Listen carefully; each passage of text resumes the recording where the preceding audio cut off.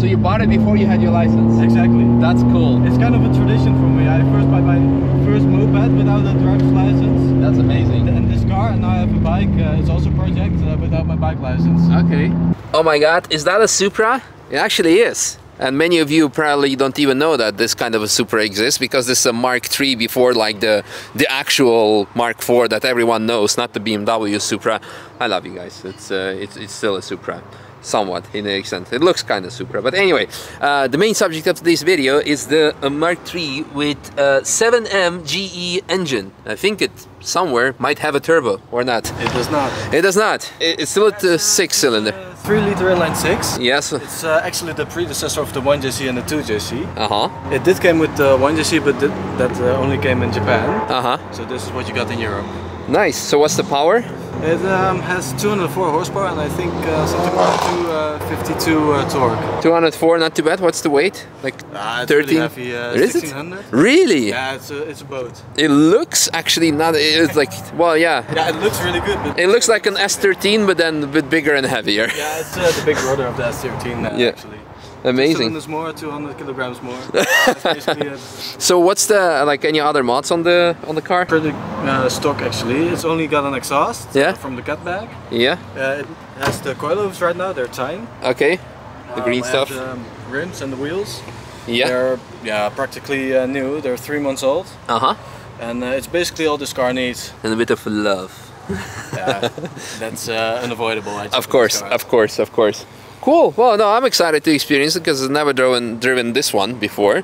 So I guess let's hop in, do a lap, see what it's like. So made it onto the track. Um, the car has ABS. it has it. At least so, so I, I have been told. It has it. Yeah, Only so- had it to use it once. Nice. So at least there's that, and everything else there's pretty much nothing. Well, it has power steering, but a good good sound.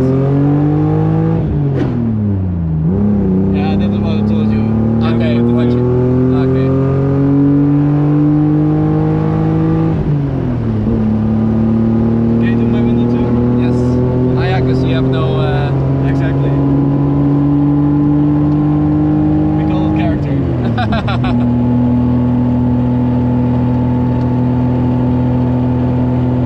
so what's the age of the car? Like how old is It's it? from 86. Really? Wow. So it's uh, 36 something years. Wow. Crazy. Yeah, it's almost an old time actually. So it's almost tax free in the Netherlands. What's the age now to be uh, considered an old timer in the Netherlands? 40 years. Really? Yeah. Oh, back in the days when I was in high school, it was 25. 25, really? Yeah, 25 would be an old timer. And now they're, and I think a couple of years ago they said like, yeah, but nowadays the cars last much longer, the quality is so much better, so that's why it's like, yeah, it's not an old timer. Oh, we're using that reasoning. Why don't we say then that cars should be allowed to go faster on the highway because they're Yeah, much exactly. safer? Like, but yeah, it only works what in Yeah. in the government's uh, benefit. So. Only when it's good for them. Exactly. For Well- staatskasspekken. Yeah, yeah. well, it is Toyota, so they're basically right. yeah. No, but it's actually quite good. I mean, the, it's of course for a, quite an old car, but it's still emotional. Like, uh, Yeah. Yeah, it's not really a fast car, but it's really the feel you get from it. yeah, With the sound and everything, the steering. it's all right. I like it. It's, uh, Good to hear. it's a good emotion, and the torque is quite nice too. Yeah. So, and about 5,000 RPM, the sound is really nice. Yeah. Uh, really cool. Yeah, it's really nice for road use because only after 4,000 it starts screaming.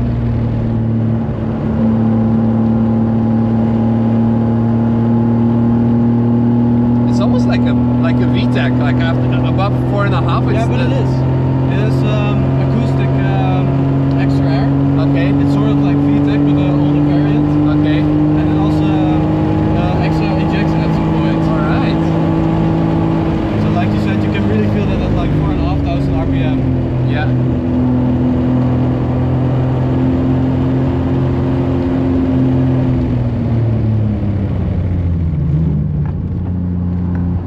Someone went straight in the gravel.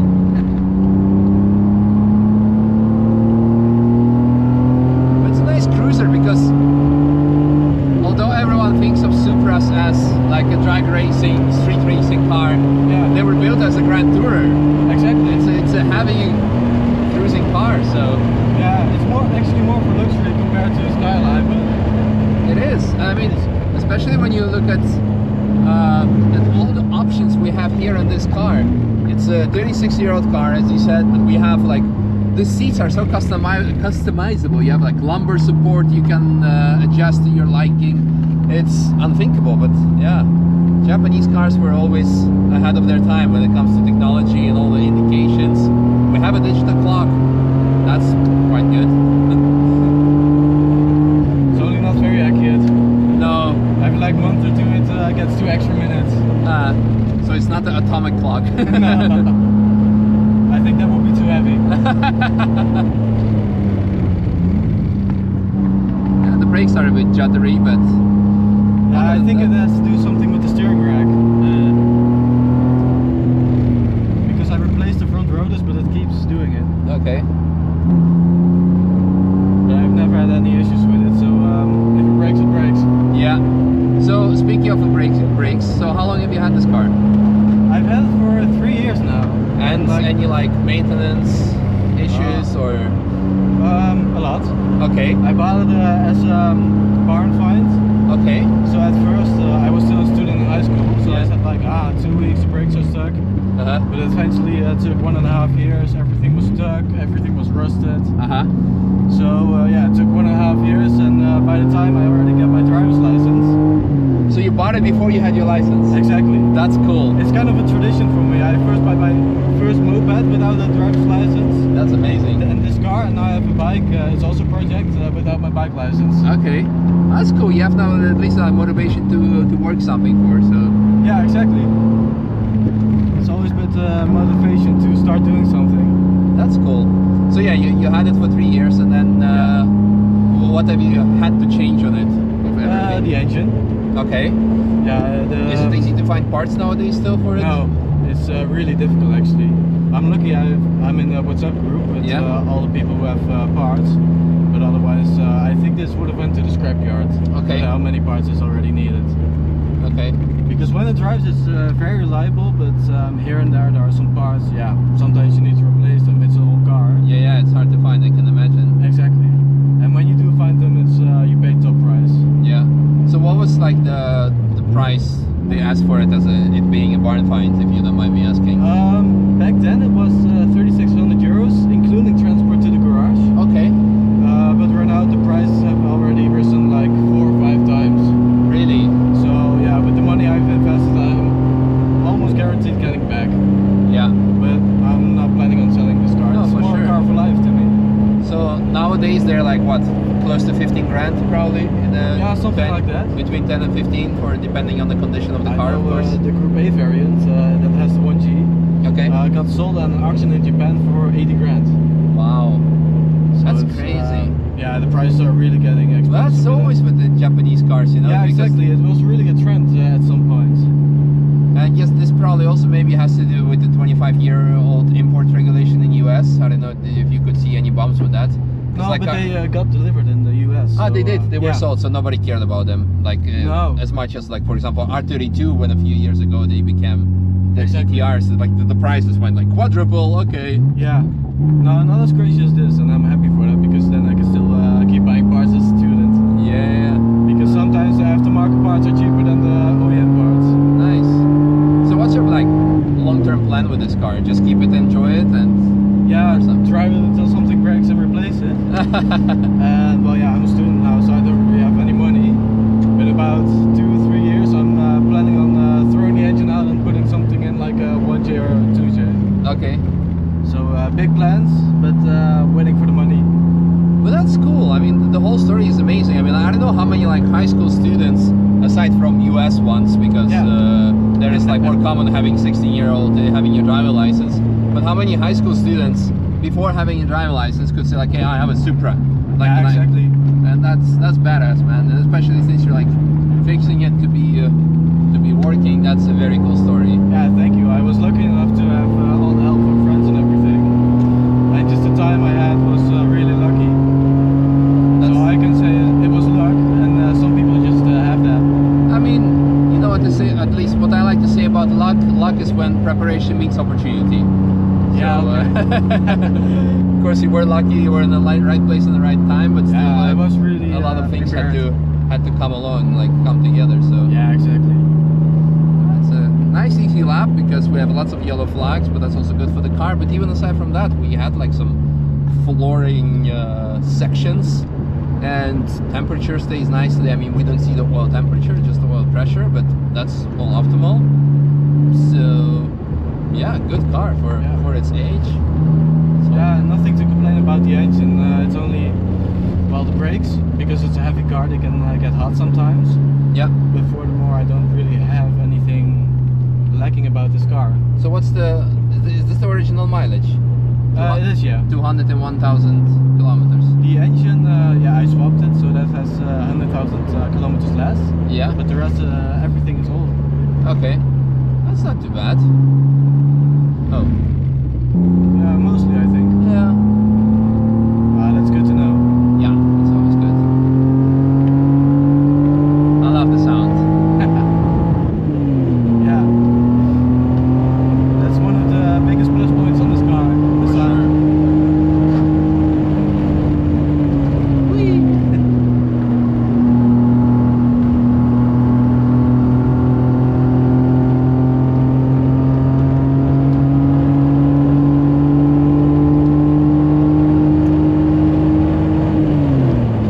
That's a long gear. Yeah. Long gearing. From three to four, you really have to roll it.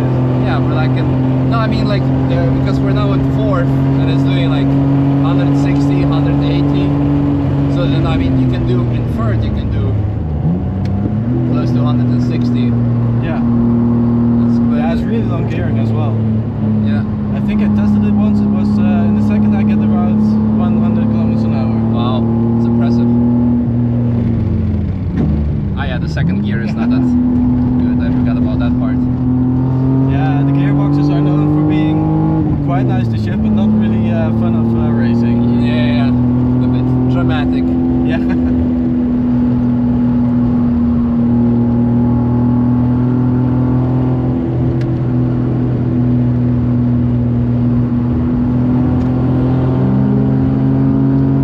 Nice. Well, I enjoy it, even like despite. Holy shit! Look at the traffic jam. Wow.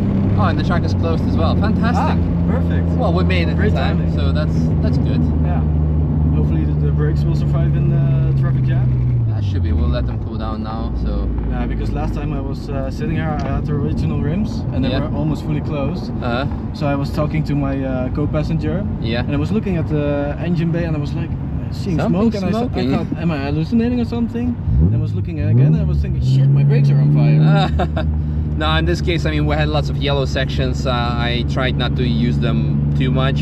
Yeah. Just, uh, just to make sure that everything will survive well. No, amazing. I, I loved it. Like, thank you so much for this experience. Yeah, Because, no like I said, I never uh, drove. It even has aircon. Is it working? No. Ah, okay. But Even optionally, you could. Yeah, exactly. You could fix it. It's it's a work in progress. I mean, to me it's optional. Uh, the driving part is more important to me, yeah, except when it's uh, winter. that's amazing. I love it. It, it has cruise control. Yeah, it has everything you want to have. Wow. No, it's And it's on the steering wheel, so I, I always think of it like a game, like a gaming console. Fantastic. No, I really, really enjoyed it. Thank you so much for this experience. Yeah, thank you very much hope for you had, driving it. Hope you had fun as well. A lot of fun. Good, good, good. Fantastic. No, that's- I was really uh, doubting if I wanted to drive myself or uh, you letting it drive. But I think you letting it drive gives me like a standard of which I can drive with. And it's always with this car when I'm pushing it and I can see it at its limit, then I maybe buy the next part. yeah, yeah, yeah, yeah, So it's like, um, yeah, the car and me are growing together. yeah. Nice, nice, nice. Well, we're gonna enjoy the traffic jam. Yeah. Hope you guys enjoyed the video. And uh, luckily today is not that super hot.